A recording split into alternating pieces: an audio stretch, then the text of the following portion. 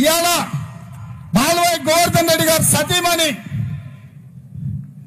నీకు తెలుసు ఎప్పుడు ఆకలి మీద పోయినా అవసరం మీద పోయినా వైద్యం కోసం మీద పోయినా విద్య కోసం మీద పోయినా గోవర్ధన్ రెడ్డి గారు ఉన్నా లేకున్నా కన్న పిల్లలోనే కన్న బిడ్డలాక మిమ్మల్ని అందరినీ కడుపులో పెట్టుకొని చూసుకున్నా.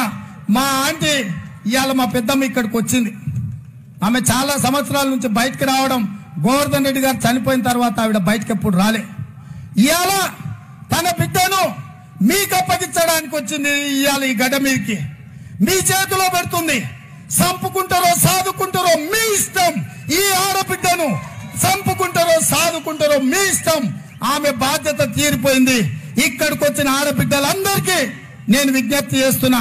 కన్న తల్లిగా తొమ్మిది నెలలు ఆమె మోసింది. ఇవాళ కన్న బిడ్డను ఇవాళ మీకు అప్పచెప్పింది సంపుకుంటారో సాదుకుంటారో మీ ఇష్టం.